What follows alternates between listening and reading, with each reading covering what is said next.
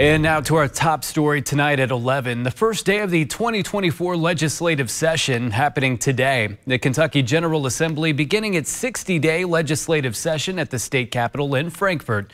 ABC 36's Anna Medina has a recap from House Speaker David Osborne.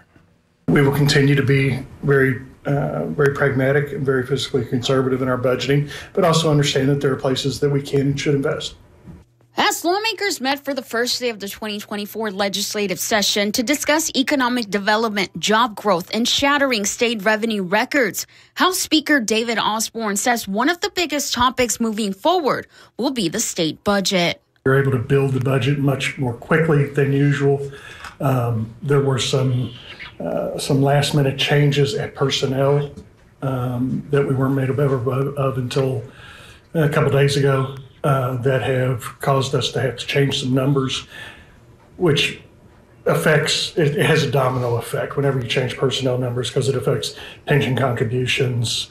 Um, it, it, it, it's a domino effect, so it takes a while to to, to clean all.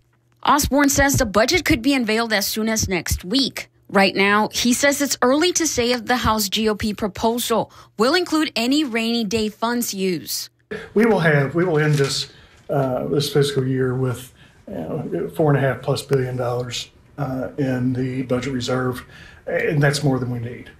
The House Speaker also addressing the topic of school choice. I think that there is considerable considerable interest in, in our uh, caucus to, to do that. Osborne also speaking on what the first House bills could entail. My suspicion is that you will see House Bill 1 be a, a budget or infrastructure bill, uh, something like that.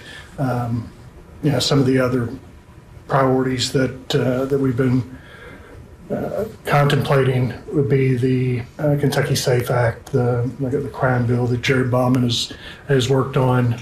Governor Andy Beshear will deliver his State of the Commonwealth on Wednesday in Frankfort. Anna Medina, ABC 36, on your side.